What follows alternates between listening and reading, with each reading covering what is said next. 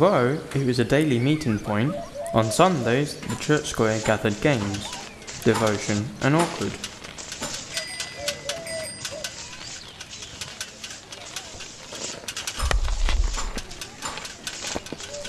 With the ringing of the bell, men and women hurry to get to church on time.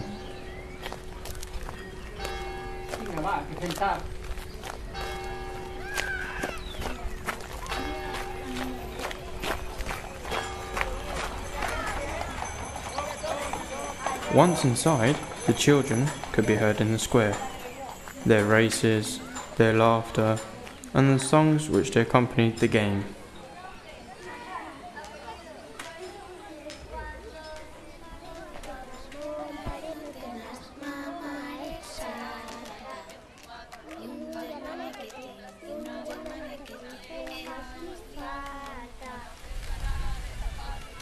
At the end of the church service, the farmers of Aigües, Muchamiel, and other places were already there with their carts full of vegetables ready to sell.